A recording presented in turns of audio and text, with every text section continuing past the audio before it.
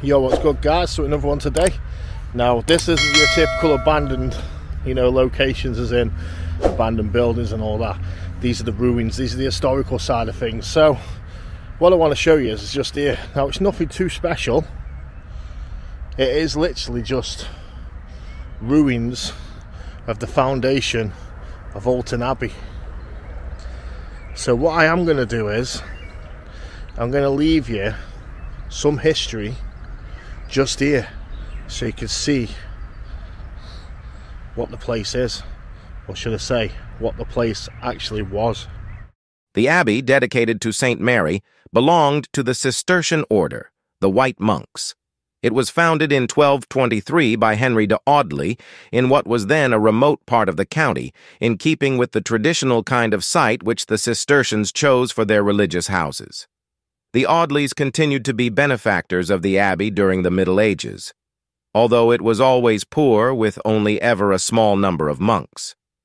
Documentary sources also indicate that the ecclesiastical community at Hulton Abbey was not large. In 1377 and 1381, it numbered only five, including the abbot, and in 1538, when the abbey was dissolved, there were eight monks and an abbot.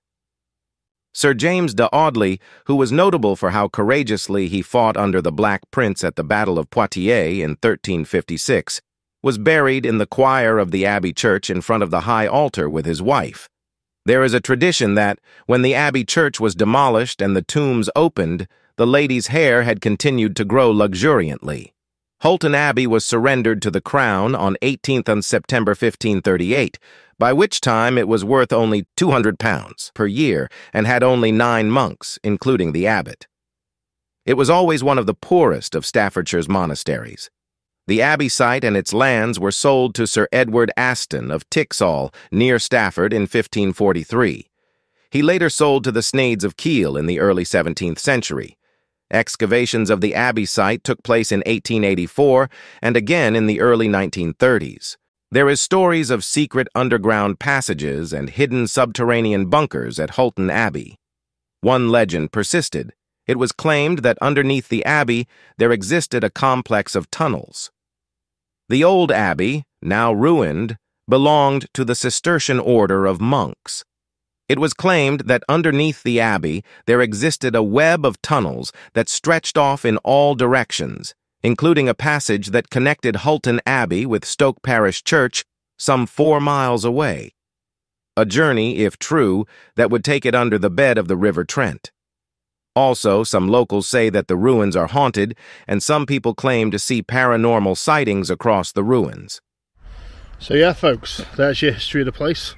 Now, as I say, this video is not going to be your typical abandoned stuff to see a lot of things. This is more the historical side of things. Now, a lot of people do say like, well, not a lot. There's a couple of people, who are like, oh, it's just obviously bricks in the floor, you know, and so on. But the thing is, it's like you're standing on history. This is 13th century ruins that we're standing in between now. Now, I want to look around quickly just to see if there is any carvings or anything. But it doesn't look like there is. Now, some people do love this historical stuff. They love it when I put the history in the videos and people can see what the place used to be. Now, what I am going to do is, is I'm going to leave a link in the description for you folks. So if you want to go check out another website to see what the place used to be like, then go and do that. I don't want to leave it in the video because it's not my photo. I don't take it, you know, and so on of what used to be. So I'm not going to take credit for it or nothing. So yeah, if you go across and check out the link in the description, you will see but now, I think what we're going to do is, because there's not a lot to see, I can't see really any carvings or anything around, I think I'm going to get the drone up and I'm going to show you what it's like from the sky. So as you can see from drone assist that's coming up on the screen now, we are not in a flight restriction zone. We can take off, so off we go. Take off. Home point updated. Right, so I'm going to bring it back. Now I'm going to try and talk and see what we can see from over here. So if I bring this back and then look down, these are the ruins from above. You see me just walking off screen there. I am in line of sight with my drone, But yeah, just look at these ruins from above. Now what we will do is we'll go a little higher and bring it back a bit so you can see the foundations of the place of what it used to be like. Now I think where I'm standing, which is bottom of the screen now, I think this would be where the entrance would have been, which would have led down to, if I just swing it round, which probably would have led down to the main road where the gates probably would have been back in the day. I don't know, but yeah, this is the ruins from above. Now what we'll do is we'll fly over, but what we'll do is as well, we'll bring this down so you can see. Now I was trying to just do it the easy way then with the drone, but for some reason it wouldn't flick down. So I have to do it manually. So yeah, this is from above the ruins. And as I say, this is Hulton Abbey. It's nothing too special, but it's something just to show a bit of history. As I say, 13th century history, man. It's mad. So I do like me historical stuff and everything. Um, but yeah, this is from above. And as you can see, I am in line of sight with my drone, which you will see any second now. There's me. so I am watching the drone and I am keeping an eye on it. But right, I think that's all I'm going to show you from above because there's not really anything else I can show you but just the actual shot from the foundations, the ruins. So I'm back down now folks. Now if there is one thing that really annoys me, it's this stuff. Every time we come to any location, abandoned, historical, anything man, it's like litter. Like people leaving litter. I mean here as well. Look, a baggie. And then we've got a can of coke, another bit of litter up there.